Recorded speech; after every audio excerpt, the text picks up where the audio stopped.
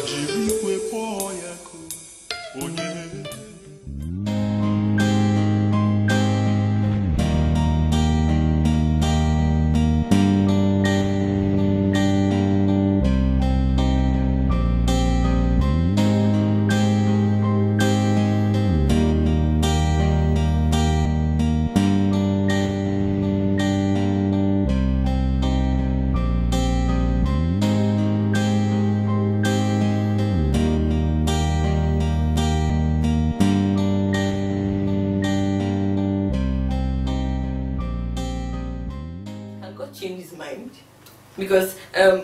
this God said five years ago or some years ago that you're not my spouse. And now God is saying, no, he's, he's putting it on God. He's not the one even saying, and God is saying now that we should start again. So can God say it? Many Christians these days tend to use that word, God said, very loosely. Very, very loosely. Okay? Sometimes when their mind is leading them to do something, mm.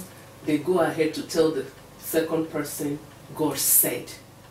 And we need to be very careful, you know, about that. And that's why Angela is saying, if God said then, has God now changed his mind?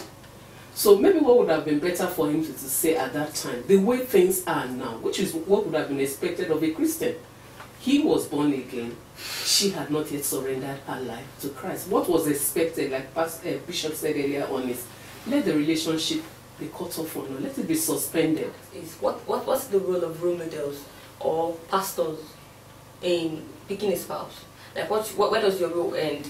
Case in point, Mhm. this this um, pastor is forcing his will, regardless of he's just saying, look, this man is a pastor, he's asking you out, marry him. That's all he wants to know. How should role models and pastors go about in leading their their um, sheep and their church members in picking a spouse? sir? When Daniel told him about the girl he had years ago, I think the first thing is interview Daniel, call the girl, interview her, and then call both of them and talk with them.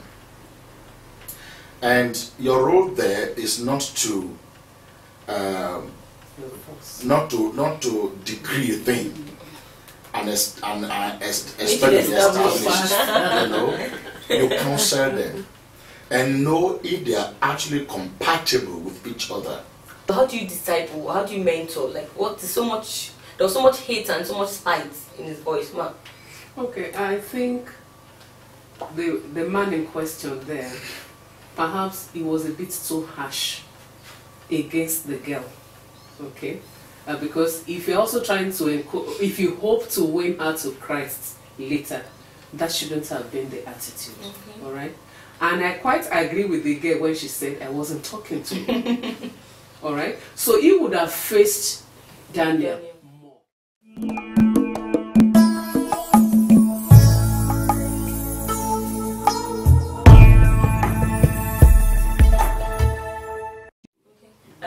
Okay, next question I want to ask is what, what what's the role of role models or pastors in picking a spouse? Like what, what where does your role end?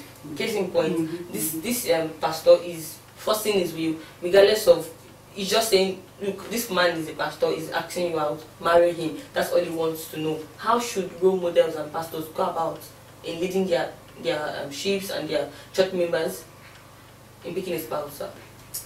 The the the role the Pastor Daniel's father in the Lord played in trying to as if uh, force the girl kind of to go ahead with the relationship wasn't right.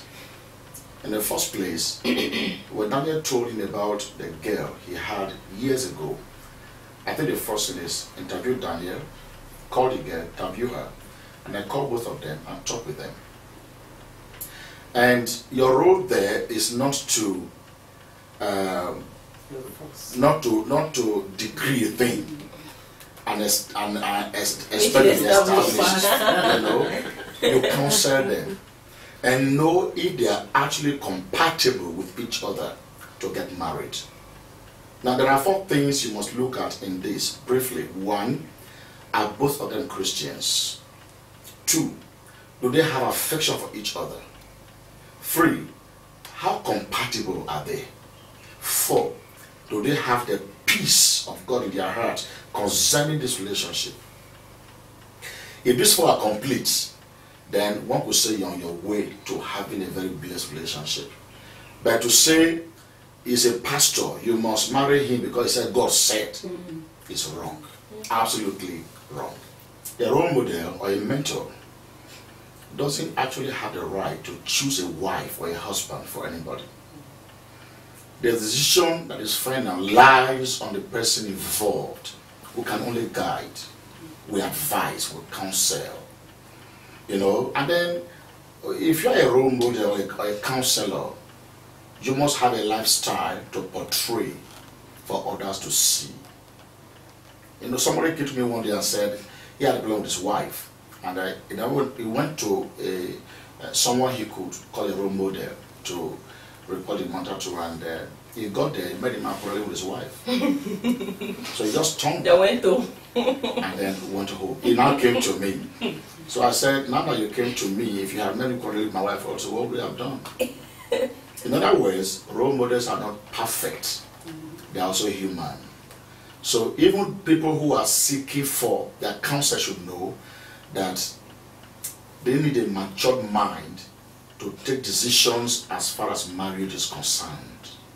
That's why we say that marriage is not for boys, it's for men, mature minds. For this cause shall a man leave his father and mother, not a boy leaving his father and mother. You know, so role models have a, a, lot, a lot of roles to play in the lives of those who are seeking counsel for marriage. Thank you. Can I just chip in something Yes, ma'am. on that? I'm talking still on role models now. And people as role models need to know, just like you said, you don't enforce and you don't blackmail. Mm. Now, if you look at this particular story, um, Angela, okay, he was the one sponsoring her album and he was her bishop, okay, as the case may be. Sometimes, as role models, we need to remove our person Sentimental attachment. Our attachment. So let it not be like, oh, she can't tell me no. Okay. Don't worry, I'll work on it. It's okay for your mentee to tell you no. Uh-huh, you know, I'll work on it. I know she can't tell me no. We, it's a role model shouldn't behave like that. And when It I tell you no, I you should disobedient. respect. If I tell you no, you should respect Exactly. it. Anything outside of that will be manipulation and witchcraft. Intimidation. intimidation I, it's manipulation so yes you might have helped me in so many ways but i still have a right to make my own decisions Decisions. so you don't enforce your decision on me simply because you feel i owe you Yeah. so that's what i see there and role models need to do that whatever you are doing for a person for a, another person remove yourself you know from it when you remove yourself from it then it doesn't now mean that oh oh don't worry i can handle it Yeah. Okay once i talk to her once i talk to him he will agree that's manipulation and it's not right It is. Well, on the issue of, of, of, of on um, picking a spouse, you know, we'll have a lot of senior, you know, people that are like senior ministers say, God showed me that this is my wife. I was going to meet her on this day. She's going to be wearing this. Like they had specifics about their spouses, and he has made a lot of persons, you know, wait, are waiting for that specific too. So is that does God have to say this is your wife before it's your wife? Are there other ways to go around it? Do I have to know the shoe you wear? The, the, the way it's still to be looking that day, you know, stuff like that. Bishop, sir. You see, God deals with individuals, not groups. The way He deals with me may be different from the way He deals with my sister here. You know, so that God dealt with me in a particular pattern doesn't mean that He will do same for her. For those who give testimonies about their specifics and all that, God said I should do this, she will be like this, she will be like that. For me, God did not talk to me or show me what my life will look my wife will look like. I've always desired a calm-minded person, not a talker, intelligent, someone that would talk and others will listen. I've always dreamed of that kind of. When I say dream now, desired. And I looked out for her. I knew that when I see her, I will know. Because I had a standard. I needed a Christian. I didn't want a pastor. I'm a pastor. I wanted a wife that would take care of me, take care of our kids because I knew I was going to be a busy person later in life, which has come to pass by the grace of God. So when I saw her, I knew she was the one. And that was it. Okay. Man, did you did you see your husband's picture? No, you're very you're very spiritual woman. You're pastor. How I did you am. go You know, but you know, one of the things I tell people, the fact that you saw exact specifications does is not a foundation for a good marriage. Mm, that means you can even still backfire. So it is possible for God, I'm not saying God didn't say, to tell you, oh, she will be wearing a red dress, you'll meet her so so place, she will look like this, she will look like that. And I'm not doubting that at all. It is possible for God Very to say possible. that. Very possible. Like he said, God deals with individuals. But the fact that God told you like that is not a recipe for a successful marriage. It's not a guarantee at all. So we need to remove that, you know, from it. You know, there's this young, one of my friends who's a reverend. He's not young anymore now. He's a reverend. He's a Assemblies of God Church. He said when he went to Bible school, on their first night, they would gather all of them together. How did you receive your call to become a pastor? Mm-hmm. That's like a kind of welcome service Yeah. to new entrants. And they all lined up. Oh, I saw this vision. I saw this. Everybody gave theirs. And then there was this young man among them. I don't forget that story. It touched me so much. And when he got to his turn, he said, God did not speak to me. I didn't dream. I didn't have any vision vision. at all. But while I was growing up, there was this pastor. I liked the way he lived his Christian life. And from observing him as a child, I made up my mind that when I grow up, I want to follow in his footsteps. That is why I'm here. For me, that's more real. Mm, okay. That's more real. So what I'm saying is this. The fact that you got exact specifications is not a recipe for success because what we're all looking for in marriage is a successful marriage at the end of the day. yeah. However God reveals the person, Yeah. uh-huh, is the success of the marriage that is important here. Mhm. So let each person allow God to lead him. The way God has been leading you. My husband will say, if in all your years God has never told you anything, All of a sudden. then all of a sudden is when you want to marry that God now begins to speak. You need to check it. check the voice. okay. Um, was was um, Daniel's approach, Pastor Daniel's approach, was it right? I will start from um, Dr. Siche. You know, she'll come from the woman perspective. Was it right? Like the way it just went for me. I, let me just keep on speak. I would have okay, this head. Just before you answer the question, I'll go on a short break and we'll be right back. Please don't go. Anywhere. Daniel's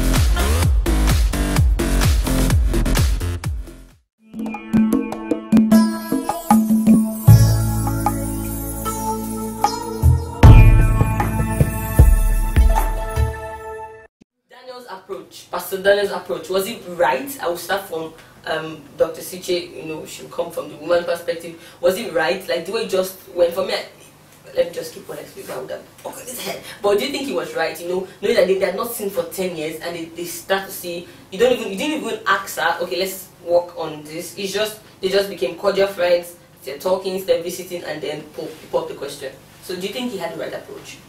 Uh, maybe not. Incidentally, it was a drama, so we don't know for how long that cordial relationship had existed before it finally popped out the question. It was a drama, so we don't know for how long. But um, I don't even think it was the issue of how long the relationship had been. What Angela was harping on was that you once told me I was not the one, and now you are telling me that God is now saying I'm the one. I think that was what she was harping Yeah, on, not necessarily The approach. the approach. I think that was the issue she had problems with. So when it comes to approach, like I said, I don't know how long they've been going, had this cordial relationship after they are reuniting over after a decade. Yeah. All right. So it may not necessarily be the approach. It is what he said God said before, and what And he's now saying saying God God is is saying. saying. I think that was the issue. Okay. In addition, please, If Daniel had not said God said The first time. the first time, mm. now that they met after 10 years, you know, they say when you treat a woman, she'll be she'll be praying for you to open your mouth and speak. Talk to me, Bishop. There's a way Daniel would treat her, that cordial relationship and all that. She is the one that will be, oh God, open his mouth. Yeah. Let him speak to me now. But you see, the God said became The a barrier. barrier, Yeah.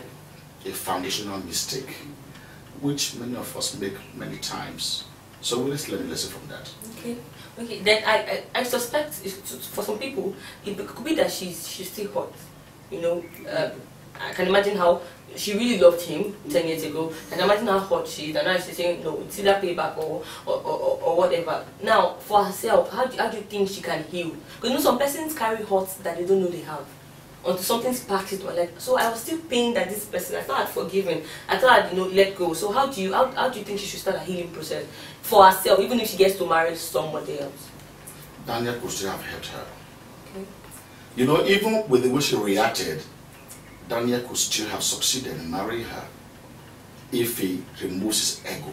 Mm. I say, I'm sorry, I am sure I didn't know what I heard. Mm-hmm. I'm sorry. I said, God said, but maybe I didn't hear well.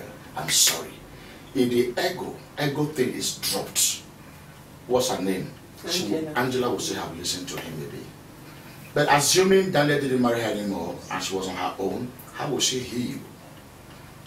Number one, she needs to just let go and move on. Mm-hmm. In life, you don't take things too seriously.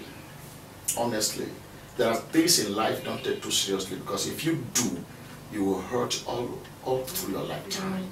And it's not necessary. Life is too brief to be in a state of hurt for too long, perpetually. So, uh, she needs to let go.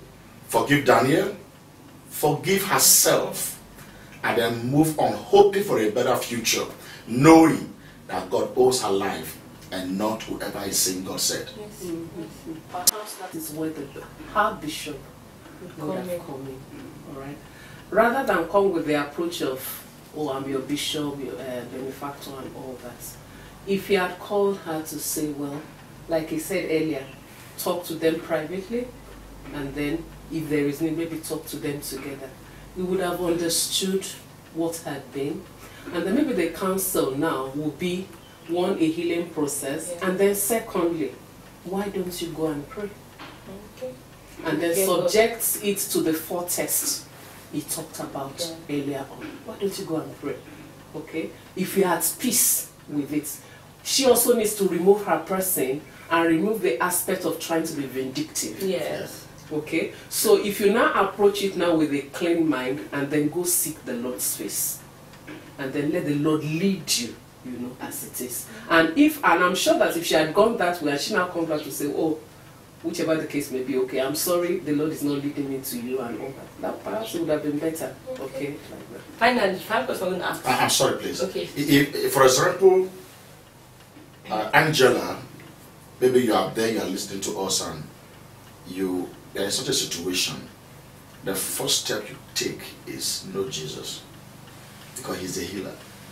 It can heal your heart, it can heal your mind, it can heal you psychologically, and that's the beginning of anything that takes place in any man's life. When you, like she said, pray, hand over to God. I'm telling you, something good will happen and you will be happier later. The past is gone and the new has come. God helping you. Well, I was going to. That was the final question I was going to ask, and you already answered Oh, it. I'm So. I think it's your turn. What, what- how do you advise the parties to go about it? Um, what do you think they should do, like each of the parties, and how how do they go about it? Okay, I think I already mentioned a bit of that. But yeah, there was a flashback, what, just looking at the drama that I remembered, and that was this issue of uh, Angela first pretending to be a Christian Yes. because he so desperately wanted Daniel, Yes. and since that was a condition he gave, She didn't mind. she didn't mind. She faked being born again Yeah. because she had an ulterior motive. And then the moment Daniel now said, I don't think so, she dropped the Christianity right there and then I went back to her former lifestyle. You know, as a kind of pattern was that's why I want to say that if you were in a relationship before as an unbeliever and then one of you gives his life to Christ, it's not by pressurizing the person because this time around it was Angela that was pressurizing him. Yeah. Sometimes it's even the person that is born again that feels that I don't want to let this person Person go. go. Okay, there's got to be a clean break. If it is God's will, He will work it out together. And for the people towards the end of the story, like I said, what they both needed is give it time. Angela needed to give it time. And like I said, with a clean mind, why don't you just go and seek the Lord's face? What is the Lord saying now? No. The situation then is not the same as the situation now. So as at now, what What's the- Lord saying? And if it passes all those four tests, is born again, we're compatible, I'm at peace, you know, and all that. We can go ahead. Okay. Thank you very much. Well, before we let you go, we're just going to ask a question on one of the best decisions you've ever made in your life. Apart from giving your life to Christ and getting married, those two out of them.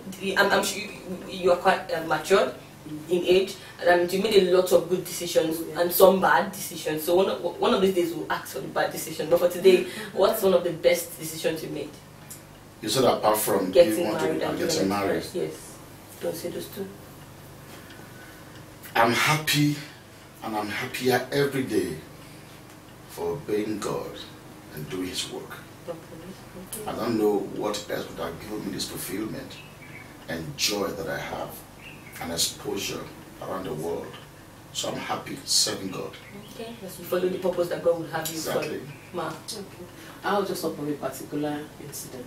Uh, I met a child last year, very intelligent, but was sent out of school because he couldn't pay his school fees. And somehow something official took me to the school.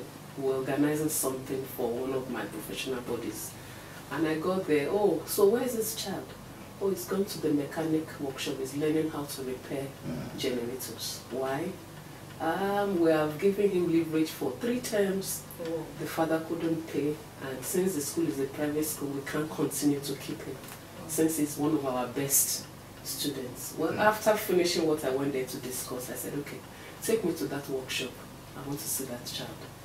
We got there, we couldn't maintain. But the summary of the story was that I paid the fees, got him enrolled to do his WAEC.